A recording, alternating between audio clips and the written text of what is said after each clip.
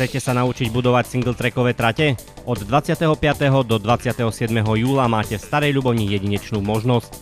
V lokalite Oslý vrch sa uskutoční školenie, v rámci ktorého účastníci získajú vedomosti o plánovaní, budovaní a staraní sa o single-trackové trate. V teréne následne nadobudnú aj praktické zručnosti s ich výstavbou.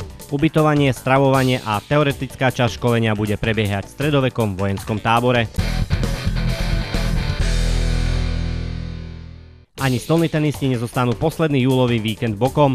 STK Stará Ľubovňa povzýva všetkých priaznivcov na turnaj veteránov, ktorý sa uskutoční v rámci 6. ročníka Veterán Tour 2014. 26. júl bude v športovej hale patriť stolným tenistom v troch vekových kategóriách mužov, pričom v kategórii 35 až 49 rokov je umožnený štart aj žien od 27 rokov.